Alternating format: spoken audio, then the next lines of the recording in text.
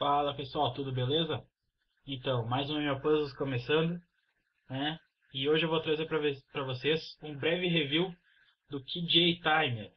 Né? Esse timer que é da KJ tem um preço bem barato, bem em conta, mas que a gente vê muita gente falando mal dele na internet e pelo menos comigo não foi bem assim. Eu tenho boas coisas para falar desse, desse timer, ele tem seus pontos fracos, é claro, mas eu acho que se você quer ele para algumas, uh, para algumas coisas e não precisa para outras, ele pode ser uma boa opção em função do valor dele ser bem em conta.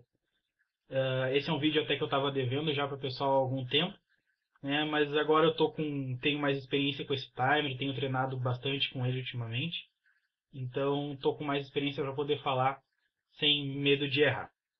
Então, esse timer ele custa por volta de 12 dólares, 11 dólares uh, em lojas como a Steak, o Albas, né? Tem, se eu não me engano, na Zcube também. É, então ele é um preço bem mais em conta do que o timer da Stack Match, da SpeedStacks, uh, que custa em torno de 30 dólares, mais ou menos. Aí, então ele custa metade do preço, ou até menos do que o preço do, do timer original que é usado em competição. O, ele tem uma entrada de data, né, para você poder treinar ele no, treinar com ele usando o computador. Porém, o único timer de computador que funciona com ele é o CCT, o CalCube Timer, que não é um timer muito bom e quando usado junto com o KJ Timer ele fica com um pouquinho de delay o time, o tempo fica certinho, mas ele fica com um pouquinho de, de, de delay, o que atrapalha um pouco. E as funcionalidades do, do Calcube Timer também não são muito boas, não são tão boas quanto as do Prisma, ou não, tão, não é tão funcional quanto o QQ Timer que a gente tem web. Então, para você usar e guardar seus tempos no computador, eu não, não recomendo que você compre o KJ Timer. Mas se você quer ele para treinar para uma competição, para um campeonato apenas, uh, ou para poder medir os seus tempos usando um timer, projetando como vai ser uma competição, eu recomendo comprar esse, esse timer porque vale a pena. Ele é bem preciso no tempo dele. Vamos marcar aqui, ó. Tentar marcar um segundo. Olha aí, ó. Ele fica bem próximo. Né? Se eu tentar, claro que tem o meu tempo de reação aqui também. Mas eu vi um vídeo de um americano comparando o que o que timer com o cronômetro da SpeedStacks e o cronômetro da SpeedStacks ele apresenta certas lacunas de tempo. Ele marca 91, 92 e pulo 93 marca 94, 95, pulo 96 marca 97, 98.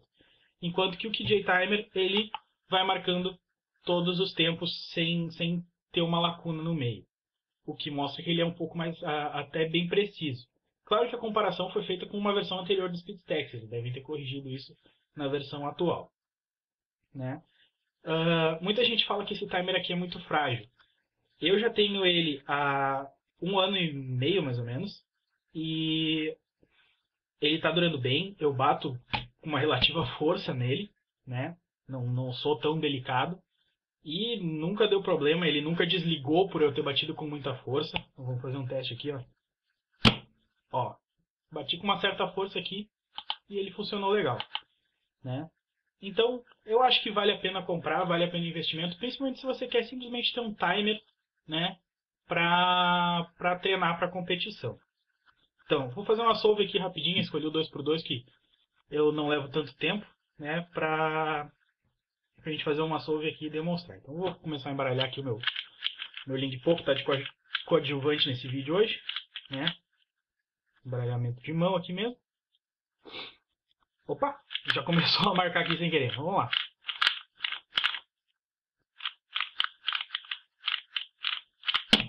Aí, 8.30. É um tempo até bem abaixo da minha média, né? Mas com a câmera na frente e tal, começou sem eu ter me preparado para resolver. Uh, creio que tá valendo, né? Pode botar meu vídeo aqui depois no Rubik's Fails lá no fórum do Cubo Mágico. Mas foi legal aqui, até comecei do jeito errado. Né? Devia ter começado com pontos 2, mas deu pra ver aí que o timer funciona legal. Então, pessoal, KJ Timer, uma boa solução para quem quer treinar e se preparar para os campeonatos, ou para quem só quer medir seus tempos em casa de uma forma um pouco mais séria, como se estivesse uma competição mesmo. Então, era isso. Pessoal, como eu já venho, venho dizendo nos últimos vídeos, né?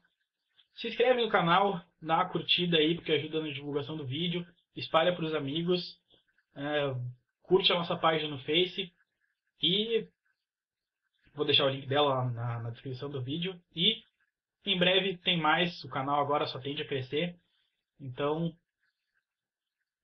aguardo a audiência de vocês no meu canal, beleza? Abraço, pessoal!